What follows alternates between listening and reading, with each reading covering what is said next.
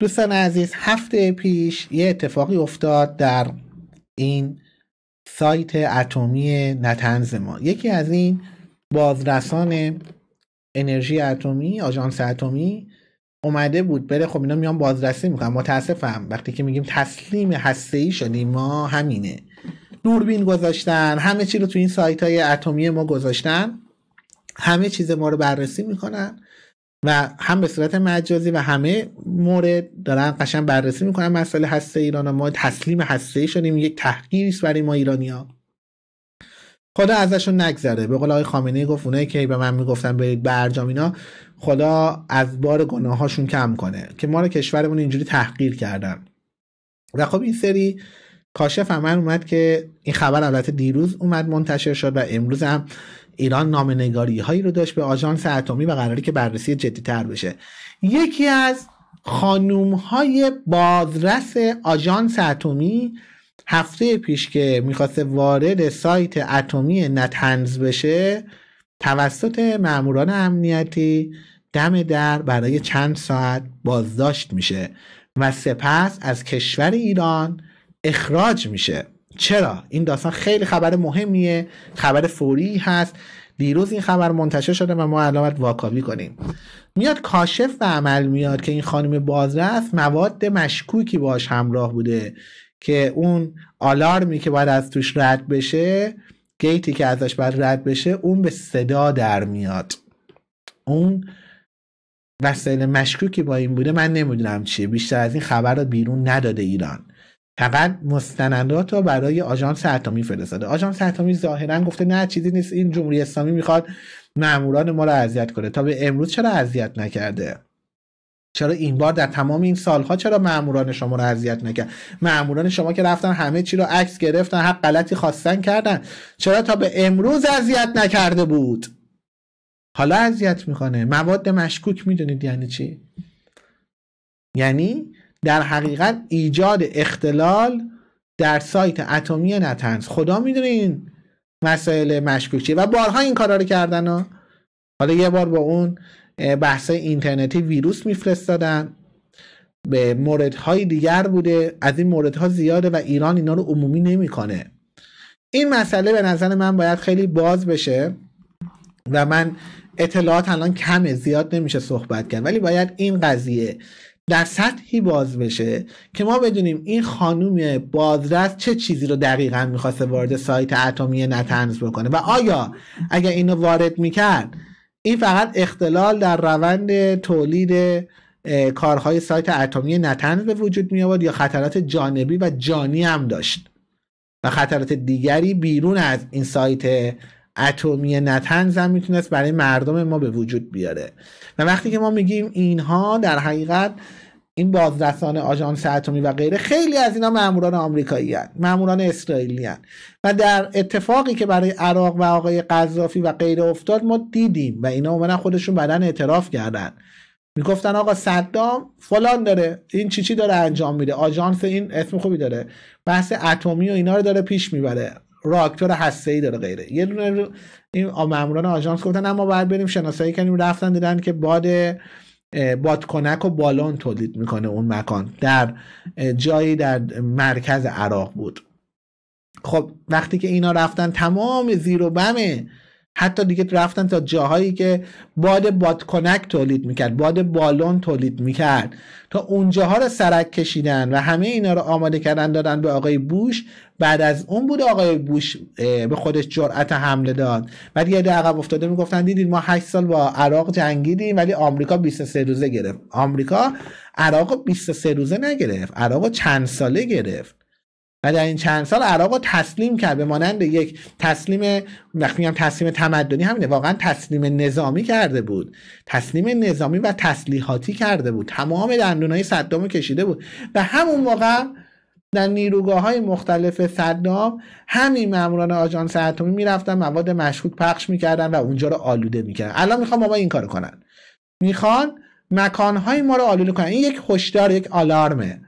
و ما دیدیم بعد از حمله به صدام و همین اواخر بعد از حمله به قذافی برخی از مامورانی که مخصوص کشور لیبی و عراق بودن اومدن اعتراف کردن که آمریکا زمانی که می‌خواست به این کشور حمله کنه از طریق شورای امنیت ما رو موظف کردن. اطلاعات و گزارش های خودمونه که رفته بودیم در عراق و لیبی و اینها رو دستبندی کرده بودیم این گزارش ها رو و همه اینها آماده و در پوشه قرار گرفته بود ما رو مجبور کردن اینها رو تحویل شورای امنیت بدیم. شورای امنیت هم اینا رو تحویل آمریکا داد برای حمله نظامی. یعنی آمریکا در حقیقت تحویل اتحاد توافق آتلانتیک شمالی داد که اینا با هم متحد بودن. لاتشون آمریکا بود. جلو میافتاد پشتش هم انگلیس و فرانسه و آلمان حرکت می‌کردن حمله کردن به عراق و به داستان لیبی و اونجا نابود کردن. همه اینا رو اطلاعاتش همین بازرسان آژانس اتمی دادن حالا وقاحتشون در کشور ما به جایی می‌رسه که میان و مواد مشکوک وارد سایت اتمی نتنز می‌کنن. اینا مسائلی که باید چشمونه باز کنیم. چشم ها باید باز باشه. واقعا جای نگرانی داره دوستان. خیلی خطرناکه. و ما می‌بینیم تازه آقای روحانی آقای ظریف با همه این مشاهدات تازه ناراحتن که چرا ما بیشتر واداده نشدیم. دارن میان داد می‌زنن آقا ما کم دادیم ما ما باید کامل مفعول سیاسی بشیم تازه FATF هم امضا کنیم. تازه بریم.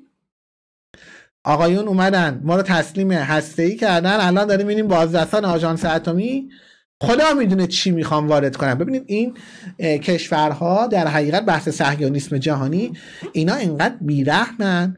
رحم نکردن به حوزه کشاورزی ما. اینا الان 60 سال در حوزه کشاورزی بنیاد راکفلرها که آقای هوشنگ امیر احمدی افتخار می‌کنه ازشون پول گرفته خاک بر سرتون کنم. این بنیاد و بنیادهای این چنینی و در رأسشون یک مأمور امنیتی بسیار خطرناک به نام هنری کسینجر که اینم خیلی برام جالبه. صهیونیست هست. و البته صهیونیست آلمانی بود و در خلال جنگ جهانی دوم فرار کرد آمریکا. همه اینها حتی اون تو طرح NSSM قشنگ مطرح می‌کنه. مواد غذایی ملت ها رو باید دست بگیریم. کنترل مواد غذایی. اینا از مواد غذایی ملت های چون ما نمیگذرن. بلند شدن. از طریق پول می‌دادن به این مسافران فیلیپینی چون فیلیپینی ها خب فقیر بودن. صهیونیستا به اینا پول دادن اینا اومدن کرم ساقه رو در کشور ما اومدن در زمین های کشاورزی مازندران و گیلان رها کردن و ما بعد از هفت هزار سال کشاورزی که در ایران می‌کردیم الان پنجاه سال دچار مشکل کشاورزی هستیم. اینا رو خب بهتون نمیگن. و این کرم ساقه خار فیلیپینی ها یعنی اسرائیلی ها توسط فیلیپینی ها وارد کردن. یه مرحله دیگه توسط بعد از انقلاب سبز کشاورزی آقای نورمن بولارگ بود.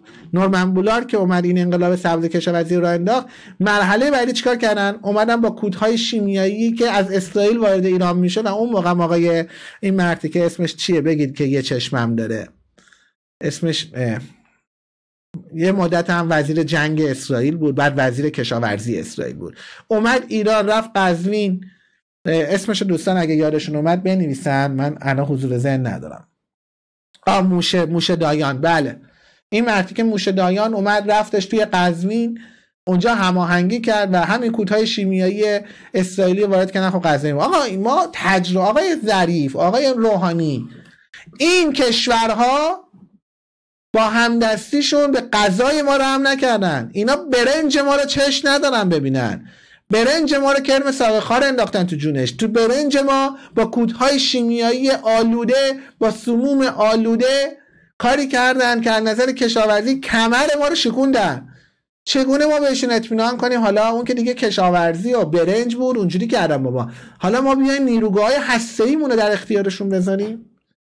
چگونه شما میگید بریم اطمینان کنیم؟ خب آقا نیروگاه هسته رو اطمینان کردیم الان بازرس خانوم آژانس اتمیشون خدا می‌دونه چی می‌خواسته وارد کنه. چقدر ما باید کشته میداریم چه عواقبی برای ما داشت. خیلی از این می‌دونیم مسائل در حقیقت بیولوژیک هسته ای در حقیقت همون دقیقه چیزش نشون نمیده. عواقب بیولوژیکی خودش نشون نمیده. یه دفعه آقا یه چیزی رو اینا منتشر می‌کنن در سایت های اتمی ما. بعدم میندازن گردن جمهوری اسلامی. آی جمهوری اسلامی خودش می‌خواسته مردم خودش رو بکشه در عرض ده سال نیمی از جمعیت ما سرطان می‌گیرن. ما که اینا رو نمی‌تونیم اینا باید علمی بررسی بشه. خدا می‌دونه چی می‌خواسته وارد کنه. این از داستان اتمیشون. الان دارن چیکار می‌کنن؟ مواد مشکوک می‌خوان بیان و می‌خوان سایت های اتمی ما رو در حقیقت آلوده کنن. آقا ما اینا رو میگیم باز آقای ظریف میگه با دنیا باید کنار بیایم بریم با دنیا فلان. آقا نمی‌فهمه ما موقعیت جغرافیاییمون چیه. این کلا در مورد موقعیت سوقل جیشی و موقعیتی که ایران داره و تازه در راستای این که حالا فقط میگم حالا خیلی فکر می‌کنن چون ایران یکی از مهمترین گذرگاه های انتقال انرژی در دنیاست همه این درگیره. آقا هر کی می‌رسیم آقا ما نفت داریم. این نفت ما رو بیچاره کرده. این یکی از صدها دلیله. دلایل متعددی وجود داره و امروز مهمترین دلیلی که اینا می‌خوان کمر ما رو بشکنن اینه که ایران یک فرهنگ اصله. می‌بینید شما کشور غربی هیچ مشکلی با اسلام ندارن. مشکلشون فقط با ایرانه و با بحث اون شیعه که چون ایران داره. حتی اگر ایران پشت شیعه هم وای نسته اینا ذاتا با شیعه مشکل ندارن ولی به این که شیعه انگلیسی رو هم می‌بینید. آقایون برادران شیرازی شما می‌بینید فرقه شیرازیه؟ آقا 23 تا کانال تو لندن داره. مورد حمایت شما شیعه باش شیعه شیرازیه مورد حمایت کشورهای غربی. تمام دشمنی اینا با ایرانه. چون می‌دونن ایران یک فرهنگ اصله و ایران سودای امپراتوری رو داره. برایتون گفتم می‌خواد رهبرش خامنه ای باشه خمینی باشه محمد رضا شاه باشه رضا شاه باشه و حتی برخی از این چهره های قاجار باشن. به طور اتوماتیسم این بحث امپراتوری شکل می‌گیره و اینا نمی‌خوان. و بازم دلایل بیشمار دیگری داره. یکی دیگر دلایلش اینه که ایران خیلی بزرگه و اسرائیل بایستی برای اون رویای امپراتوری ابری خودش که رو سکه های خودش نقشش رو گذاشته و اسرائیل بزرگتر رو تعریف کرده چون یه اسرائیل بزرگ ما داریم یه اسرائیل بزرگتر و در اسرائیل بزرگتر نیمی از کشور ما تو خاکشه و اصلا برای رسیدن به این اهداف کشورهای بزرگ تو منطقه برای اسرائیل سمه مثل ترکیه و ایران. تمام کارش رو داره اسرائیل انجام میده. از طریق کردها در ترکیه و از طریق آذری ها که خودشونو بعضی ها ما می‌دونیم من همسرم آذریه ولی برخی از آذری ها خودشونو ترک می‌دونن. خود ترک پندار داریم. ما ترک تو ایران نداریم. آذری کجا؟ ترک کجا؟ خب ما آذری های عزیزمون بخششون خودشونو ترک می‌دونن. اسرائیل با سرمایه گذاری روی این بخش رو بخش پان کورت ها رو بخش پان عرب ها پان بلوچ ها می‌خواد ایران تیکه تیکه کنه. ترکیه هم می‌خواد تیکه تیکه کنه. چون هر چقدر بتونه کشورهای منطقه رو تیکه تیکه کنه راحت تر می‌تونه بهشون مسلط بشه. و اون رویای شوم خودشون و کابوس شوم خودشون رو به نام اسرائیل بزرگتر احیا کنه. خب می‌خوان ایران نابود کنن. خب ایران با داشتن قدرت هسته‌ای و غیره نمی‌تونه این کارا کنن. ایران باید بنیه دفاعیشو قوی کنه. غذامونه که اومدن آلوده کردن. حالا بیان سایت های اتمیمون رو یه بار اومدن با اون ویروس استارنکس بود. چی بود؟ می‌خواستن هکمون بکنن و ویروس اینترنتی اونجا نش بدن. الان که مواد مشکوک میارن. فردا تازه آقای ظریف میگه بریم FATF هم امضا کنیم. فردا ببخشید. تمام اطلاعات بانکی ما رو دارن. میان با اطلاعات بانکی ما این کشور رو کلا فلج کنن با تحریم های فزاینده آمریکا. در این قضیه باید جدی باشه و جدی باید پیگیری بشه. باید ماها مطالبه گری کنیم از بخشی از حکومت که آقا مسئله این خانومی که بازداشت شد چند ساعت و بعد از ایران اخراج شد چیست؟ و آژانس اتمی آیا پیگیری خواهد کرد که این خانم دقیقا می‌خواسته چیکار کنه و این چه موادی بوده می‌خواستن پخش بکنن؟ این مسئله باید حساس باشیم. اینا منافع ملیه. اینجا دیگه اعتقاد من و تو اون چی فکر می‌کنه شیعه است من یکی اینجا اون یکی زرتشتیه من چپم تو راستی این جمهوری خواه این پادشاهی نیست.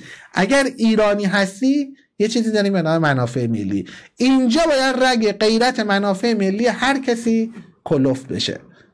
بایستی جلو این بسات بازرسی از سایت های اتمی ایران پایان یافته بشه. مگه ما الان بازدست میفرستیم؟ اگر اسرائیل بهش به آقای نتانیاهو میگن چند تا کلاهک هسته داری میگه به تو چه؟ همینجوری گفته ان هم امضا نکرده مرتیکه میگه به شما چه ربطی داره؟ مگه ما الان بازرس فرستادیم در خاک اسرائیل؟ مگه ما بازرس فرستادیم در آمریکا؟ به عنوان یک کشور متمدن دارم عرض می‌کنم. یک کشور کهن و چند هزار ساله. با توجه به موقعیت جغرافیایی که ما داریم اگر کسی قرار باشه بازرس برای کسی بفرسته این ما هستیم که باید برای بقیه بفرستیم. حتی هم بخوام موقعیت جغرافیایی رو عرض کنم هم بخوام تاریخ معاصر کشور رو و دنیا رو حتی تاریخ معاصر دنیا رو هم بخوایم بررسی کنیم. می‌بینیم حداقل در دو قرن گذشته ایران به هیچ جا حمله نکرده. و در تمامی جنگ ها به جز جنگ ایران و عراق که خب مستقیم به خودمون هم در تمامی جنگ ها ما اعلام بیطرفی کردیم. مثل همین داستان جنگ جانی اول دوم. و بیشترین قربانی رو ما داریم. یعنی اگر طبق موقعیت جغرافیایی و طبق تاریخ معاصر دنیا باشه این ایران هست که باید بازدست در کشورهای دیگه بفرسته. می‌دونید چرا؟ باید بازدست بفرسته. آقا ما که همیشه اعلام بیطرفی کردیم ولی شما اومدید به ما تجاوز کردید. ارتش یه بار روسیه یه بار انگلیس یه بار عثمانی در جنگ جهانی اول کشور ما رو اشغال کردن. بار دوم جنگ جهانی دوم آقا شوروی از شمال انگلیس از جنوب آمریکا هم که بدون اجازه ما آقای روزولت اومد در تهران اصلا یه توف کف دست پادشاهی ما ننداخت. اونجوری با اون برخورد کردی. یعنی طبق تاریخ معاصرم که بخواد باشه از زمانی که بوروکراسی به این شکل اومد و تجربه جنگ جهانی هم بخواد باشه ایران باید بازدست بفرسته در خاک آمریکا و اسرائیل و غیره. نه اونا. نه اونا بازدست برای ما بفرستن. حالا بازدست میفرستن وقیحانه مواد مشکوک میاره. آقا این بساط بازدست باید جمع بشه در ایران. کشوری که در آینده امپراتوری می‌خواد تشکیل بده اصلا برای ما ننگه که بازدست وارد کشورمون بشه. معنی نداره. دو بحث بازدست باید جمع بشه خیلی شدید. همینو باید بهانه بکنن جریانات اقتدارگرا یقه حکومت رو بگیرن. یقه جریان گفتمان تسلیم و تئوریسین های تسلیم تمدنی که آقا زیبا کلام ها اینا که اینا همه نوچه های روحانی و ظریفن و یقه همه اینا رو بگیرن. و همینو بهانه بکنیم جلوی کلا ورود بازرسان رو در خاک ما بگیرید. ببین یه آینده پژوهیه. ایران باید بره سمت اینکه جلوگیری کنه از ورود بازرسان به خاک خودش. نه به خاطر اینکه ما چیزی داریم بخوایم پنهان کنیم یا نه. به خاطر اینکه ما به اینا اطمینان نداریم. اینا برنج ما رو با کرم ساقه خار آلوده کردن. اینا ده ها مورد اومدن مواد مشکوک در کشور ما پخش کردن. اینا پاش رسینه ملخ تو کشور ما پخش کردن. مگه غیر از اینه؟ ملخ هایی که وارد شد چجوری وارد ایران شد؟ بعد بررسی بشه. اینا پاش برسه هر چیزی رو تو کشور ما پخش می‌کنن برای جنگ بیوتروریسم. مگه کم کردن؟ مگه بیوتروریسم کم بر ما اجرا کردن؟ مگه کم اگرا تروریسم می‌کردن حالا بیان تروریسم هسته هم بکنن؟ تروریسم رادیواکتیو هم بکنن؟ همین مونده دیگه. الان این مواد مشکوک باید ببینیم چی بوده؟ فردا میان آقا گرفته ما تروریسم رادیواکتیو هم تو این کشور رخ بده. دیگه دمش کم دیگه. دیگه قشنگ مثل چرنوبیل میشیم دیگه. قشنگ نور الان نور میشه. به خاطر چی؟ به خاطر اینکه یه مشت پفیوز می‌خوان غربیا بهشون لبخند بزنن. وقتی که میان در کشور اروپایی جلسه اینا مثلا با هم بگن و بخندن. آقای روحانی اونجوری قهقهه بزنه. ما رو تو خطر تروریسم رادیواکتیوی دارن قرار میدن. خب این اینا رو باید حواسمون جمع باشه. اینا رو باید هوشیار باشیم. این کشورها از این گونه زم اگه کم ببخشید 9 میلیون از جمعیت این کشور رو در جنگ جهانی اول با بیوتروریسم با اگروتروریسم اومدن قتل عام کردن هولوکاست ایجاد کردن. کار به جایی رسونده بودن که بعضی از شهرها به مانند اصفهان در برخی از روستاهای اصفهان مردم مجبور بودن مردخاری کنن. یعنی مادرش فوت شده بود. منتها پدر خانواده اینا چیزاییه که گزارش است که خود سفیر آمریکا و دیپلمات های آمریکایی اون زمان گزارش دادن برای خود دستگاه وزارت امور خارجه آمریکا. و اینها رو در یک کتابی آقای به نام امجد رفته بود اینا رو رفته بود بررسی کرده بود در آورده بود و کتاب نوشته در مورد مستندات هولوکاست ایرانی.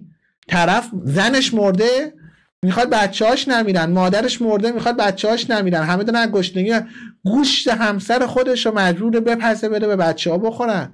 اینا گزارشات دیپلمات های آمریکایی است. اینا حرفای پوپولیستی و سترون اپوزیسیون کلاسیک نیستش که من بخوام احساسات برانگیزم.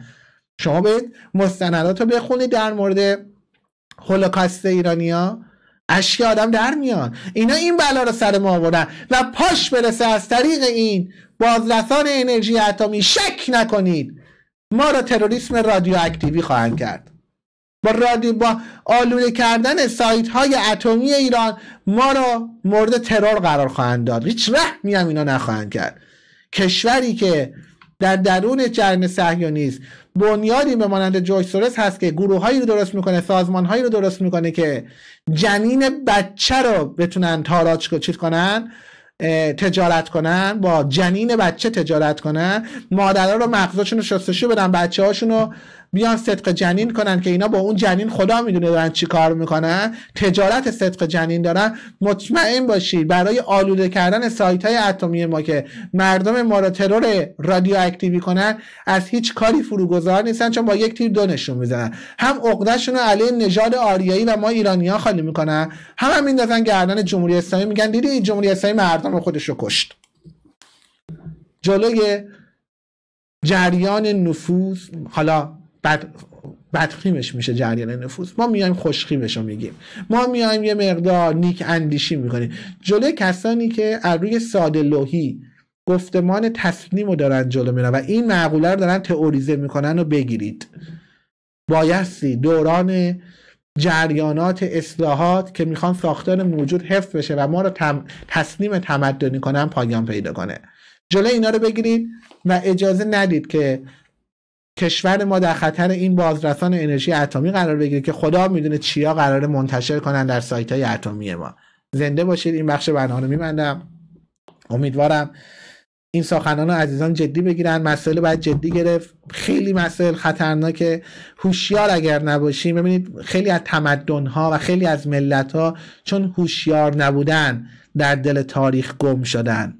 ما ایرانیان خیلی هوشیار بودیم بعد از اون حمله وحشتناک اسلام واقعی و اعراب به کشورمون. همچون آب حالت گرفتیم و شیعه رو به وجود آوردیم. ما ایرانیان خیلی هوشیار بودیم با توجه به موقعیت جغرافیاییمون و این همه حملات همچون سر خم شدیم تا این باد طوفان ها بگذرد دوباره کمر راست کنیم. سرو خمیده که می‌دونید چیه؟ بوت جقدست که روی جانمازمون هست. جانماز بچشی ها یا رو لباسا می‌بینید. ما ایرانیان با این هوشیاری ها بود که تونستیم در دل تاریخ به صورت طبیعی دوباره شکل بگیریم و ایران رو باقی نگه داریم. و اگر امروز حواسمون نباشه با چهار تا بیوتروریسم و اگروتروریسم و پخش کردن کرم ساقه خار و غیره امنیت غذاییمون رو می‌زنن. با خر کردنمون در حوزه اینکه آی ما سفره های زیرزمینی آبیمون ثروتمند نیستن. ما رو فریب میدن با عوامل نفوذیشون چون این آقای عیسی کلانتری و اون کاوه مدنی که الان تو همین کاناداست و اینا ما رو تشویق می‌کنن ببریم زمین های کشاورزیمون رو در بیرون از خاک ایران در بیرون از مرزهای سیاسی کنونیمون. اونم ترکیه. پیشنهاد داده بود تو ترکیه برید زمین کشاورزی بزنید بیشرف فردا ترکیه که این اردوغان منافق یه دفعه بگه من دیگه نمی‌ذارم شما اینجا کشاورزی کنید چیکار کنید و بیان خود کفایی گندم رو ازمون بگیرن و مهمترین عامل غذای ایرانی که گندمه اونو بزنن که خود کفا نباشیم به بهانه کم آبی. و از اون سو حالا در بخش اتمی بیان و با بهانه اینکه آی شما امکان داره بمب اتم درست کنینا بیان در سایت های اتمی ما مواد مشکوک اونجا پخش بکنن. حواسمون نباشه با اینکه امنیت غذایی رو بزنن با اینکه امنیت بحث رادیواکتیو رو در کشورمون پخش کنن و غیره راحت می‌تونن یک تمدن از بین ببرن تمدنی که در دل این همه سال این همه قرن به ویژه در این چند هزار سال تونسته در بستر تاریخ خودش رو حفظ کنه. با این همه حملات مغول و اسلام و غیره. با اون همه اتفاقات هولوکاست انگلیسی علیه ما در جنگ جهانی اول. با این همه شرایط ما خودمون رو حفظ کردیم. با شرایط عجیب و غریبی که داعش برای ما به وجود آوردن. اکنون حواسمون باشه این همه مقاومت یک زمان فدای حماقت های یک جریان ساده لح در بهترین حالت ساده لح گفتمان تسلیمی روحانی و ظریفی نشو اینا رو ما داریم میگیم. ثبت در تاریخ میشه. قربونتون برم. پاینده ایران هممون باید هوشیار باشیم. در درجه اول برای حفظ این تمدن و در درجه دوم برای احیای این تمدن. پاینده ایران بدرود.